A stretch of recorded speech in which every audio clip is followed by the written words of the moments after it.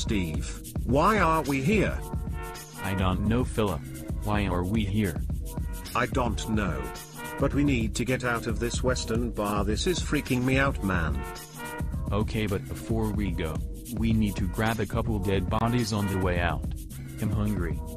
Steve. You're a cannibal? So you ate that guy that was in our front yard last night. How did that even happen anyways? Well, I was eating a snack. Yes, go on.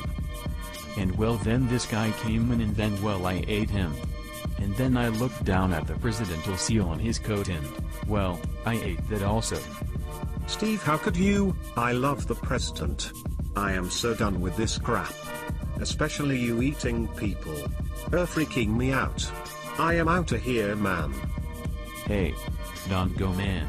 At least I got you an autograph before I ate him. Jesus, who crapped in your cornflakes?